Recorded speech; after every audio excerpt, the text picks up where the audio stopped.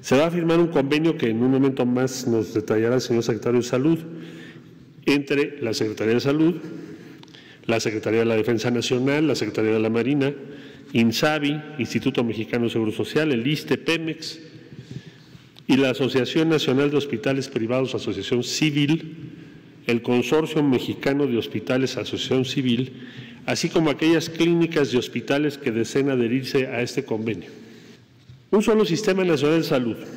A través del convenio se pondrá a disposición del sector público el 50% de las camas disponibles del sector privado. Que yo sepa, nunca se había hecho algo así. Primera vez en la historia. Para atender múltiples procedimientos que de otra manera se harían en las instituciones del sector público, mientras que estas instituciones, como el Instituto Mexicano de Seguro Social, todo el INSABI,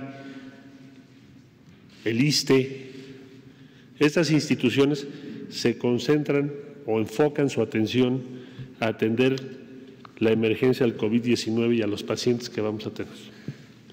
La implementación de esta medida permitirá liberar o aportar 3.115 camas en los hospitales, en este caso privados, en favor de espacio para los hospitales públicos, lo cual permitiría atender hasta 12.500 pacientes de COVID-19 en dichas instituciones públicas.